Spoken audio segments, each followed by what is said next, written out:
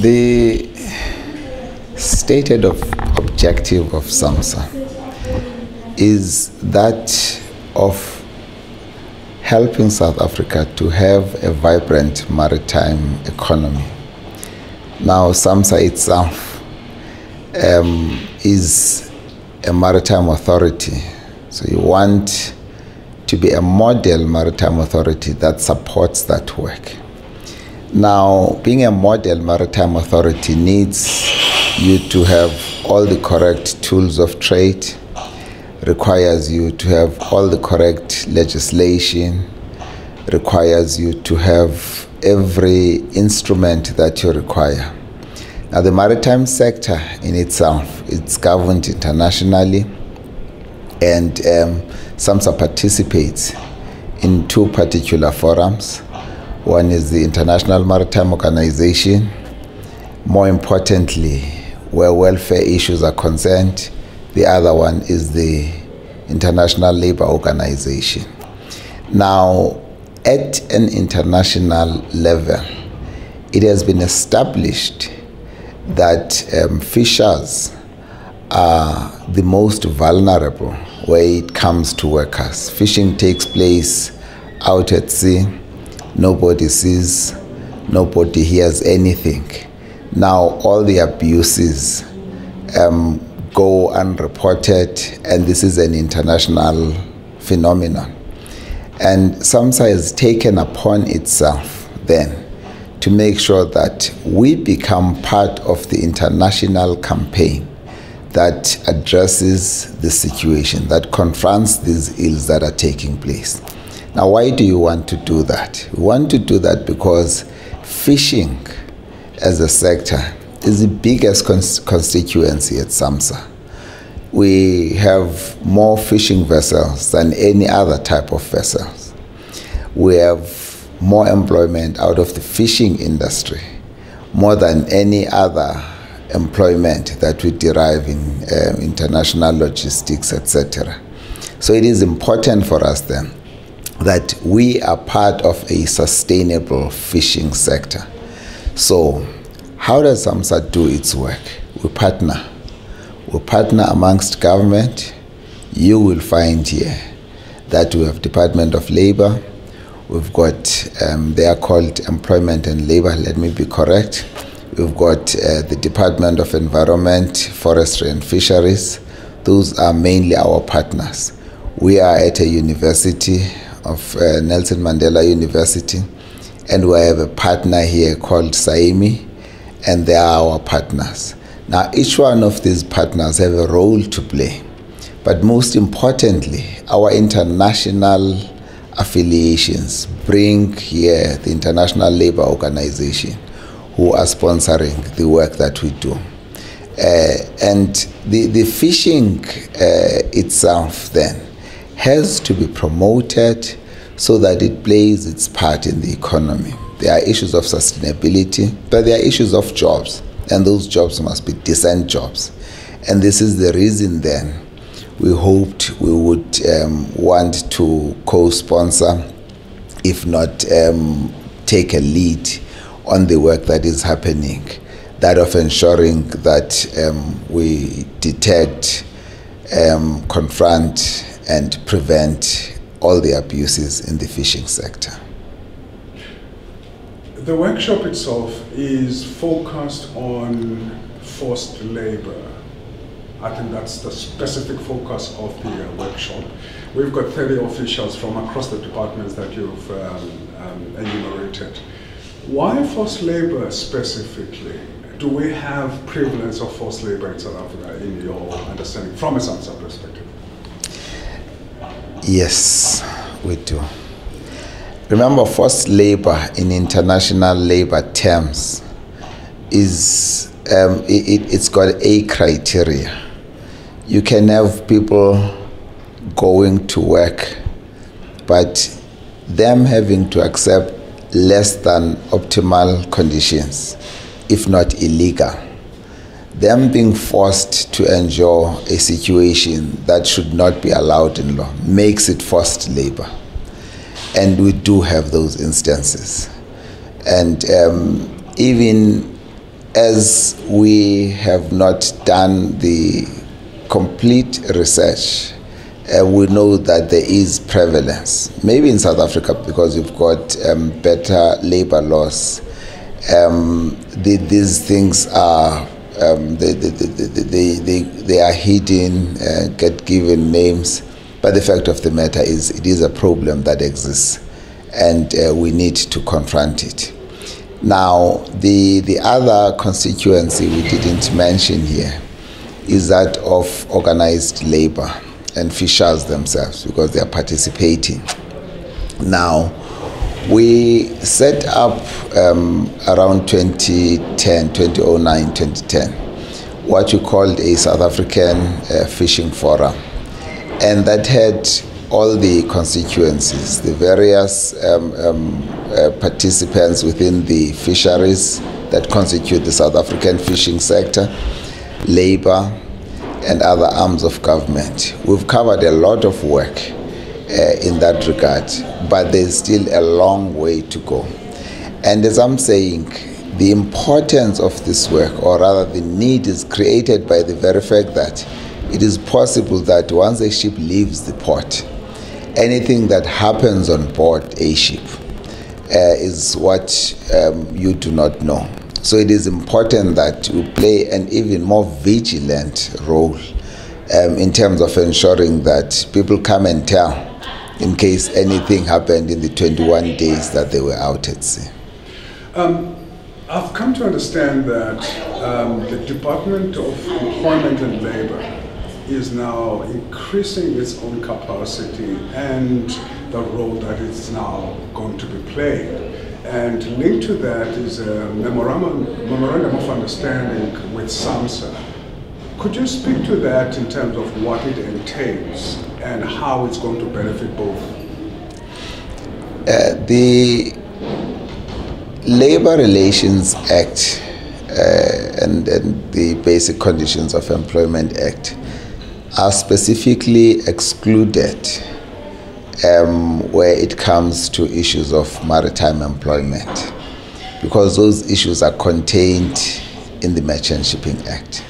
So anybody working on a ship they are employed not in terms of the Labor Relations Act, but in terms of um, um, the, the, the, Merchant Shipping Act. There are those elements then that uh, bring back the Labor Relations and the Basic Conditions of Employment Act. But by and large, um, that, that, that is the instrument that you need. Now, we are one government and in our assessment of the amount of work there is to be done, uh, it became apparent that the collaboration with Department of Employment and Labor would serve us quite well. They've got established labor inspectors.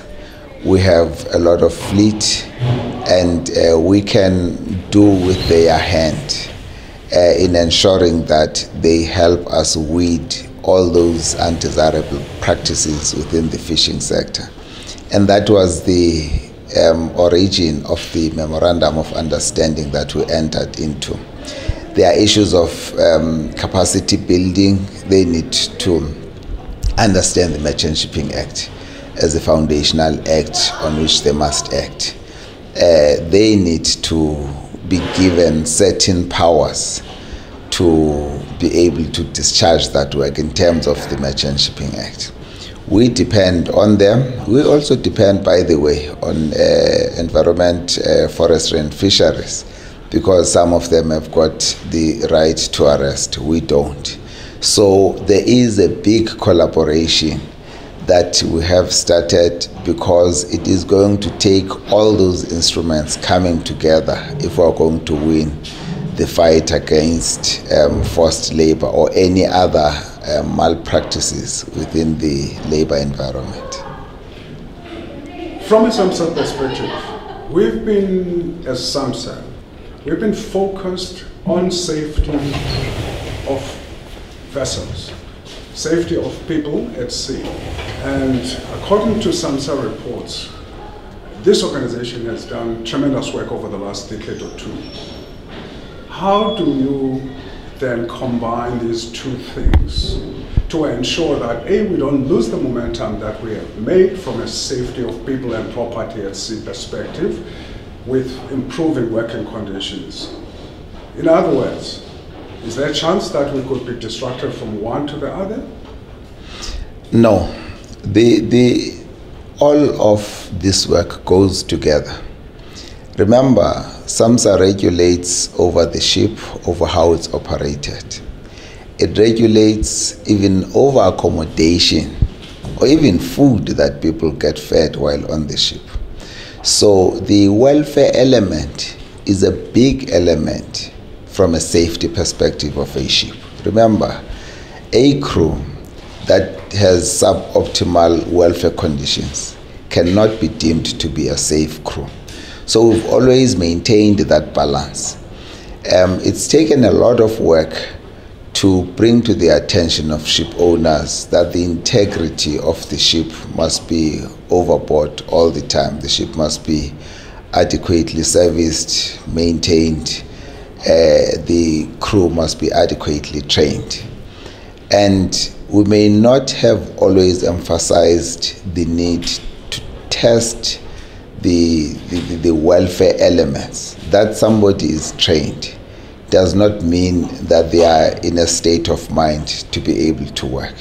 So those welfare elements play a very, very big part in the work that we do.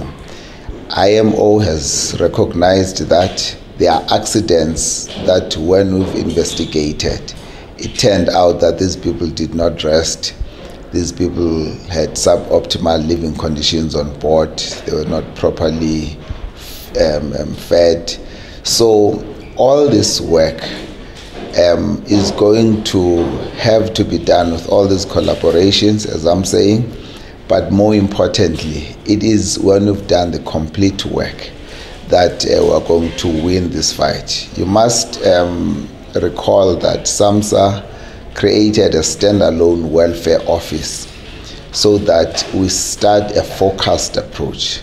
So you've always had a, an established survey department. Surveyors go on ship, they know how to inspect the ship, look at the safety, physical elements of the ship they know how to test for competence of those that are employed on the ship, training, etc.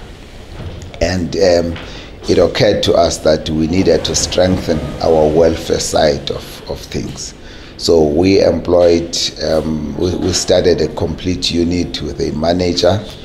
Um, I do know now that uh, we employ some psychologists we've got um, arrangements to insource that um, service of, of psychological support when it's be. So when you've got an incident, for instance, we had a recent fishing incident um, just down uh, south uh, in, in Cape St. Francis, where once those people were saved, were taken away from the ship, we needed to deploy um, counseling services and we needed to manage those people into a path, path of recovery because it is important if they should go back to sea you need to make sure that this ordeal has been successfully dealt with in their minds so uh, we've established as i'm saying the welfare division because it is that important and goes together with the effort that we're trying to create just to wrap it up and also broaden it by alluding to what you referred to earlier as an international element to this. Um, it reminds me all that we have Convention 188 and Convention 190 in terms of the International Labour Organization. But on the other hand, we have the Cape Town Agreement, which looks into the actual structure, development of the vessels, and that kind of thing. Why I'm bringing this um, into the question. It's in terms of our level of readiness from a regulatory perspective. Do we have the regulations necessary to actually ensure that we achieve what we are doing? Um, you asked me earlier about the MOU between the Department of Environment, uh, sorry, Employment and Labor and SAMSA. Um, and I did mention the one part that they would help us to ensure compliance by deploying their inspectors. The other element is that that work that requires legislation coming out of the International Labour Organization is led by Department of Employment and Labour. So they are the ones that go and ratify those conventions from a, an, a, an ILO point of view. And um, we have now, there is one convention, I think it's Convention 190, that we still need your local legislation to implement that. Uh, from a, a, an IMO perspective, remember this discussion started at IMO being the Work in Fishing Convention, which started um, in the middle to the end of the 1980s, went all the way that in the 90s uh, we went to Torremolinos in Spain where we had a Torremolinos protocol to that working fishing convention. But it took a long time to make it come into force. And um, it took another 20 years by the time we got to Cape Town to make it the Cape Town Convention, which looks at the condition of the vessel, uh, which looks at the um, physical structure, uh, including some elements that pertain to welfare. So, and those elements are now included as regulations in the Merchant Shipping Act. So, we've got adequate instruments for now to, to help us go a long way. What we do not have are those elements that will uh, deal with this uh, forced labor, etc because that must come with all the subsequent conventions coming out of the International Labour Organization and hence the discussion we're having with Department of Employment and Labour. Mr. Tilayi, I thank you very much for your time. Truly appreciate it, sir. Thank you so much.